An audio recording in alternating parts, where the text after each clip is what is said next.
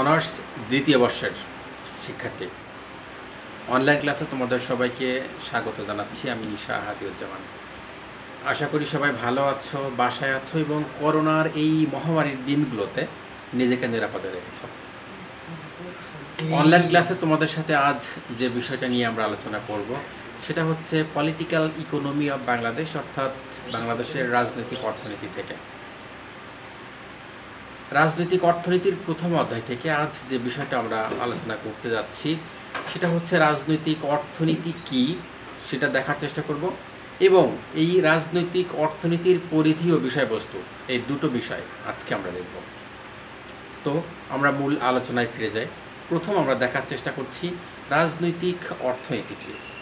আমরা জানি একটা দেশের সবচাইতে গুরুত্বপূর্ণ বিষয় হচ্ছে সেই দেশের অর্থনীতি। যেই দেশের অর্থনৈতিক ব্যবস্থা যত বেশি সমৃদ্ধ, সেই দেশ সার্বিক ব্যবস্থাপনার ক্ষেত্রে তত বেশি উন্নতিশীল, তত বেশি উন্নয়নশীল এবং তত বেশি উন্নত।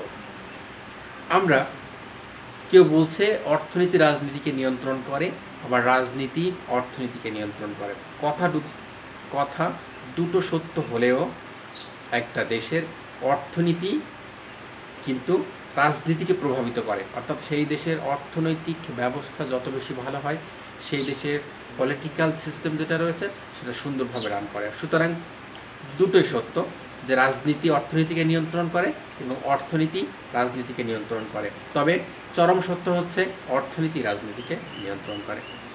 এই রাজনৈতিক অর্থনীতি? কি?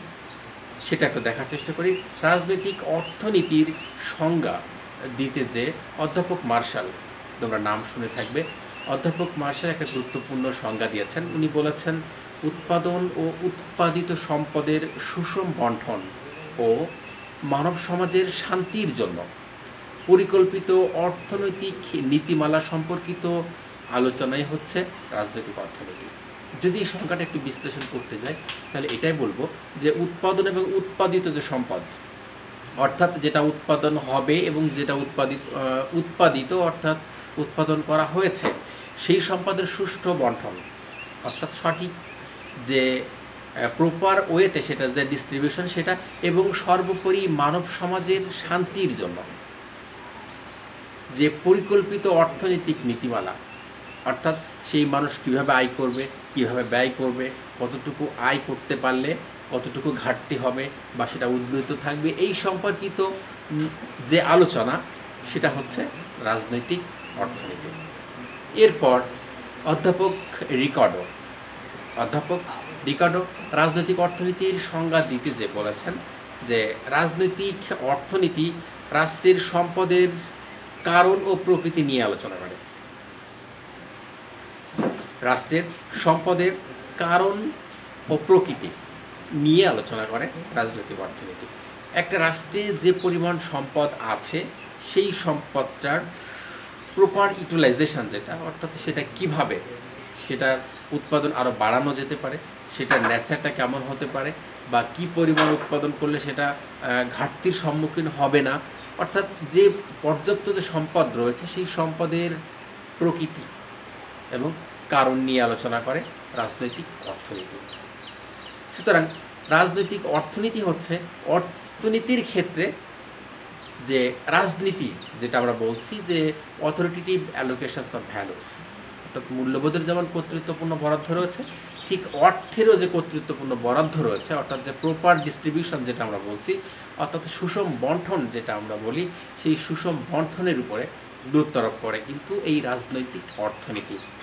সুতরাং একেবারে শেষে আমরা এটা বলতে পারি যে কোনো দেশের উৎপাদন, ভোগ, বন্টন, সেই দেশের বিনিয়োগ এবং সম্পদের সুষ্ঠু ব্যবহারের মাধ্যমে কাঙ্ক্ষিত লক্ষ্যে পৌঁছাতে দিক নির্দেশনা যেই শাস্ত্র প্রদান করে, সেটা হচ্ছে রাজনৈতিক অর্থনীতি আমি আবার বলছি, কোনো দেশের উৎপাদন, ভোগ, বন্টন, বিনিময়, বিনিয়োগ এবং সম্পদের সুষ্ঠু বন্টনের মাধ্যমে কাঙ্ক্ষিত লক্ষ্যে পৌঁছানোর যে দিক নির্দেশনা প্রদান করে যে শাস্ত্র, সেটা হচ্ছে রাজনৈতিক অর্থনীতি।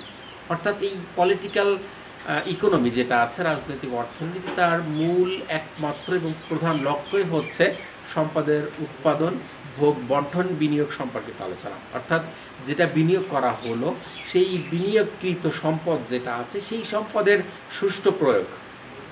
এটার মাধ্যমে আমাদের যে কাঙ্ক্ষিত লক্ষ্য রয়েছে, সেই কাঙ্ক্ষিত লক্ষ্যে কীভাবে পৌঁছাবো, সেই লক্ষ্যে পৌঁছানোর জন্য যা কিছু করা দরকার, সেই দিক নির্দেশনা যে সাবজেক্টটা দিচ্ছে সেই সাবজেক্টটাই হচ্ছে পলিটিক্যাল ইকোনমি আশা করি বুঝতে পেরেছ।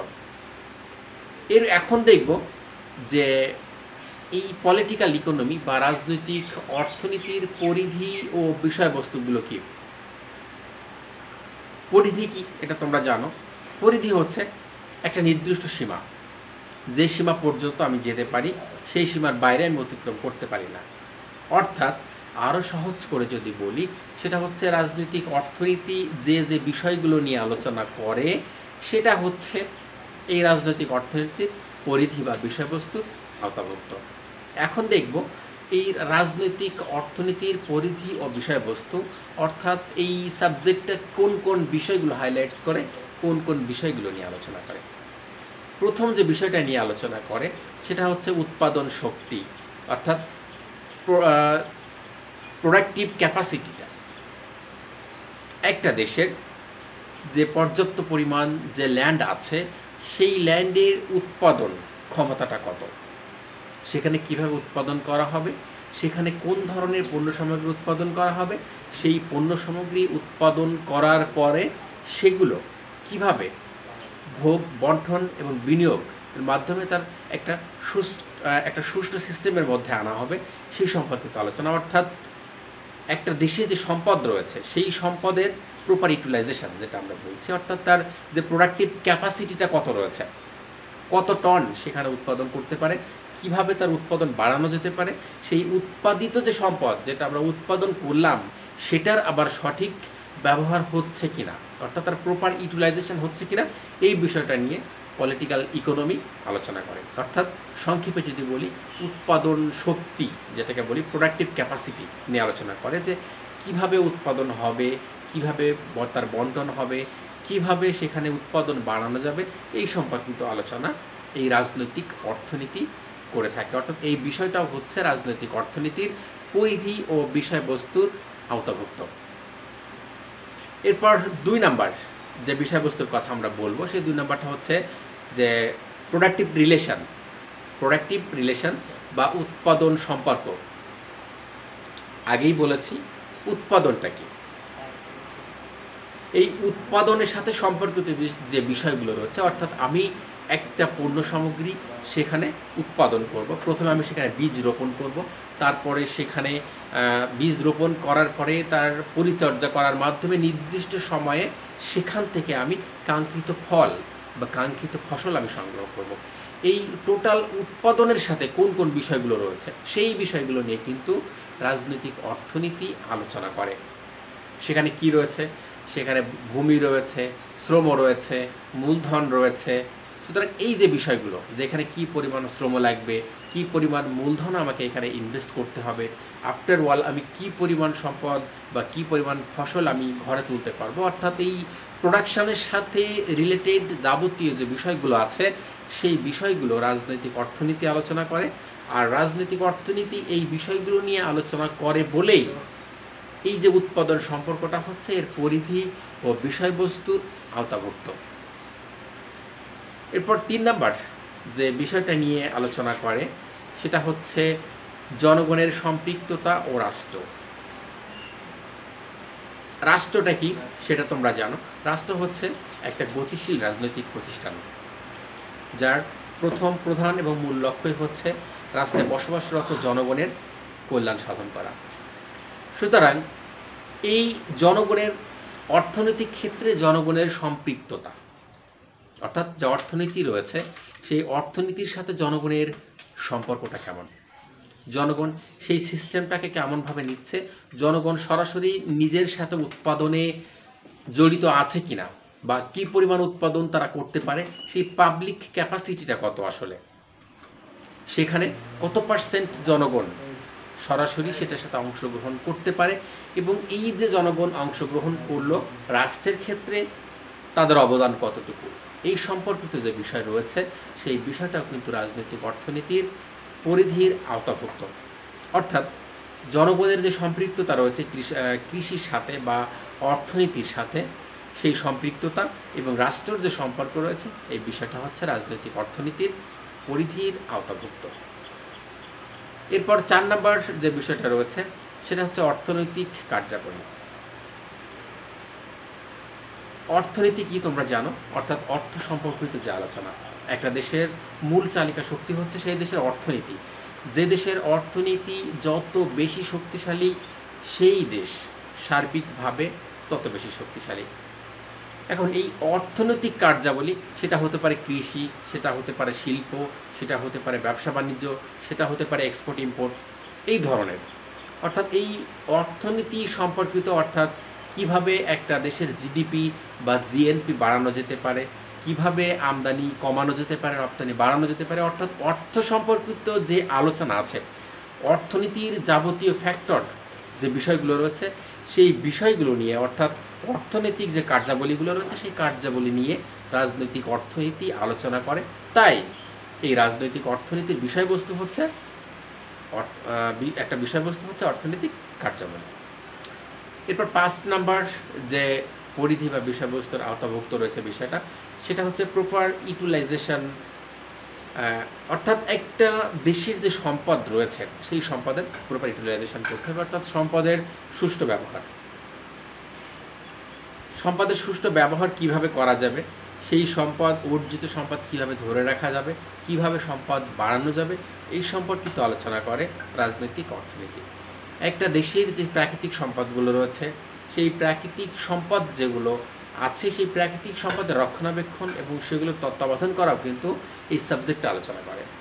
সুতরাং, আমার যে পরিমাণ সম্পদ উৎপাদন হলো, সেই উৎপাদিত সম্পদের সুষ্ঠু ব্যবহার অর্থাৎ সেটা যেন অপব্যবহার না হয়, অর্থাৎ প্রয়োজনের নিমিত্তেই যেন সেটাকে ব্যবহার করা হয়। চাহিদা অনুযায়ী যোগান যেন দেয়া যেতে পারে, এই সম্পর্কিত যে আলোচনা আছে, সেই আলোচনাটা রাজনৈতিক অর্থনীতি করে থাকে। এরপর যে বিষয়টা নিয়ে আলোচনা করে বা যে বিষয়টা রাজনৈতিক অর্থনীতির আওতাভুক্ত বা পরিধির অন্তর্ভুক্ত, সেটা হচ্ছে কৃষি ও শিল্পের উন্নয়ন। তৃতীয় বিশ্বের অধিকাংশ দেশ কৃষির উপর ব্যাপকভাবে নির্ভরশীল। আবার কিছু উন্নয়নশীল দেশ যেগুলো রয়েছে, সেই দেশগুলো শিল্পের উপর নির্ভরশীল। সাউথ এশিয়ার কিছু দেশ রয়েছে, সেই দেশগুলো আমরা যদি দেখি, সিঙ্গাপুর মালয়েশিয়া, থাইল্যান্ড যে দেশগুলো রয়েছে, জাপান রয়েছে, তারা অধিকাংশ ক্ষেত্রে শিল্পের উপরে ডিপেন্ডেন্ট আবার, সাউথ এশিয়ার যে দেশ, বাংলাদেশ, ভারত, পাকিস্তান, নেপাল, ভুটান, মালদ্বীপ, এই যে দেশগুলো রয়েছে, তারা কিন্তু আবার কৃষির উপর অনেক বেশি নির্ভরশীল। বাংলাদেশের জাতীয় আয়ের একটা বড় অংশ কিন্তু কৃষি থেকে আসে। সুতরাং, এই কৃষি ও শিল্পের উন্নয়ন কীভাবে সম্ভব? কীভাবে সাধন করা যাবে? কীভাবে সেখানে উৎপাদন বাড়ানো যাবে? কীভাবে সেখানে কস্ট মিনিমাইজ করা যাবে? সর্বোপরি এই শিল্প এবং কৃষির মাধ্যমে কীভাবে জিডিপি বাড়ানো যাবে? মাথাপিছু আয় বাড়ানো যাবে, দেশের অর্থনীতিকে আরও এক ধাপ এগিয়ে নেওয়া যাবে, এই সম্পর্কিত যে আলোচনা রয়েছে বা যে প্রসিডিউর রয়েছে, সেই সম্পর্কে কিন্তু আলোচনা করে রাজনৈতিক অর্থনীতি। অর্থাৎ তোমাদের এই সাবজেক্টটা এরপর যে বিষয়টা রয়েছে, সেটা হচ্ছে অর্থনৈতিক পরিকল্পনা প্রণয়ন। আমরা জানি যে পরিকল্পনা ছাড়া যে কোনো উদ্দেশ্যই কিন্তু ব্যাহত হয়। তার জন্যই বিভিন্ন সময়ে কিন্তু প্ল্যান করা হয়। তুমি যে কাজটা করো, সেই কাজ, আগামীকাল যে কাজটা তুমি করবা, আগের দিন রাত্রেই কিন্তু তার প্ল্যান করে বসে থাকো। আগামীকাল আমি এই ড্রেসটা পরবো, আগামীকাল আমি এখানে যাব, আগামীকাল আমি এইভাবে এই কাজটা করব, এই প্ল্যানগুলো করে থাকো। সুতরাং প্ল্যান ছাড়া কিন্তু কোনো কিছুই করা যায় না। তোমাদের যখন লোক প্রশাসন পড়িয়েছিলাম, তোমাদের মনে আছে, সেখানে পোস্ট কর পড়িয়েছিলাম প্ল্যানিং বিষয় হচ্ছে যে এই অর্থনৈতিক পরিকল্পনাটা কি আসলে? অর্থনীতিকে কেন্দ্র করে যে প্ল্যানটা করা হয়, যে আমার এত পরিমাণ সম্পদ আছে, সেই সম্পদ আমি কীভাবে ব্যবহার করতে পারব বা সেই সম্পদ কতদিন যাবৎ ব্যবহার করা যাবে, এই সম্পর্কিত যে আলোচনা, অর্থাৎ প্ল্যান করা। তোমরা যদি দেখো বাংলাদেশ সরকার দ্বিবার্ষিক পরিকল্পনা আছে, পঞ্চবার্ষিক পরিকল্পনা আছে, দশ বছর মেয়াদী পরিকল্পনা আছে। সবচেয়ে আলোচিত যে বিষয় সেটা হচ্ছে দশ পাঁচ বছর মেয়াদী যে পরিকল্পনা, অর্থাৎ পঞ্চবার্ষিকী পরিকল্পনা আমরা বলি। সেই পরিকল্পনার মূল প্রথম এবং প্রধান লক্ষ্যই হচ্ছে কিন্তু অর্থনীতি যেটা রয়েছে সেই অর্থনীতিকে চাঙ্গা রাখা। অর্থাৎ এই পাঁচ বছর সেই অর্থনীতিকে কীভাবে পরিচালনা করা যাবে যাতে শর্টেজ না আসে। সুতরাং অর্থনৈতিক যে পরিকল্পনা রয়েছে, সেই অর্থনৈতিক পরিকল্পনা গ্রহণ করা।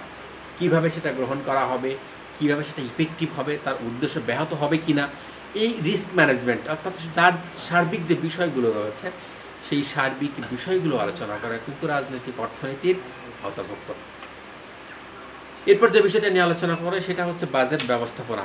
তোমরা জানো, প্রতি বছরে জুন মাস বাংলাদেশের জাতীয় সংসদে বাজেটের অধিবেশন হয়। এই বাজেটটা কি একটা বছরের আয় ব্যয়ের হিসাব নিকাশ? অর্থাৎ আমি কত টাকা আয় করলাম, কত টাকা ব্যয় করলাম, কত টাকা ঘাটতি আছে বা এই ঘাটতি আছে কি উদ্বৃত্ত আছে? এবং কোন খাতে কত টাকা ব্যয় করলে সামনের বছর আমার চলতে সমস্যা হবে না? এই সম্পর্কিত যে আলোচনা বা নীতিমালা, সেটাকে আমরা বলছি বাজেট। এই বাজেট ব্যবস্থাপনাটা আসলে কেমন হবে? কত বরাদ্দ রাখা উচিত? কৃষির ক্ষেত্রে কেমন হবে? শিল্পের ক্ষেত্রে কেমন হবে? বেকারত্ব দূরীকরণে কত হবে? অর্থনৈতিক উন্নয়নটা কেমন হবে? কীভাবে আমদানি কমানো যাবে? কীভাবে রপ্তানি বাড়ানো যাবে? কীভাবে জিডিপি বাড়ানো যেতে পারে? এই সম্পর্কিত অর্থাৎ বাজেটের সার্বিক বিষয় যেটা রয়েছে, সেই বিষয় নিয়ে কিন্তু আলোচনা করে রাজনৈতিক অর্থনীতি। সুতরাং, বুঝতে পারছ? যে বাজেট ব্যবস্থাপনা যেটা, এটা হচ্ছে রাজনৈতিক অর্থনীতির পরিধির আওতাভুক্ত একটা বিষয়। এরপর যেটা রয়েছে, সেটা হচ্ছে অর্থনৈতিক মতবাদ। অর্থনৈতিক মতবাদগুলো নিয়ে আলোচনা করে রাজনৈতিক অর্থনীতি, সেটা তোমরা জানো, অর্থনীতিকে নিয়ে যারা আলোচনা করে, অর্থাৎ অর্থশাস্ত্র, এটা কিন্তু প্রাচীন কৈতুল্য থেকেই শুরু হয়েছিল। সুতরাং অর্থকে কীভাবে ডিল করা যায় এই সম্পর্কিত আলোচনা, অর্থাৎ অর্থনীতিকে কেন্দ্র করে যে মতবাদ, অর্থাৎ আমরা যাদেরকে দার্শনিক বলছি অর্থনীতিবিদ বলছি, অর্থনীতিকে যারা আলোচনা করে, কিছুক্ষণ আগে বললাম, অধ্যাপক Marshall David Ricardo, Adam Smith এরকম ধরনের যারা ব্যক্তি রয়েছে, সেই সকল ব্যক্তি যে মতবাদগুলো রয়েছে, তাদের যে ধ্যান ধারণাগুলো রয়েছে, সেই ধ্যান ধারণাগুলো কিন্তু আলোচনা করে এই রাজনৈতিক অর্থনীতি। এরপর যে বিষয়টা রাজনৈতিক অর্থনীতির পরিধির আওতাভুক্ত, সেটা হচ্ছে অর্থনৈতিক উন্নয়ন নিয়ে আলোচনা করে, অর্থাৎ ইকোনমিক ডেভেলপমেন্ট আগেই বলেছি, একটা দেশের মূল চালিকা শক্তি হচ্ছে অর্থনীতি। অর্থনীতি যত বেশি প্রোগ্রেসিভ সেই দেশের উন্নতিটা কিন্তু কিন্তু তত বেশি প্রোগ্রেসিভ সুতরাং এই অর্থনৈতিক উন্নয়ন কীভাবে সম্ভব হবে, কীভাবে ঝুঁকিগুলো কাটিয়ে সামনের দিকে আগানো যাবে, এই সম্পর্কিত আলোচনা কিন্তু এই রাজনৈতিক অর্থনীতি করে থাকে। সুতরাং এই বিষয়টার পরিধির আওতাভুক্ত।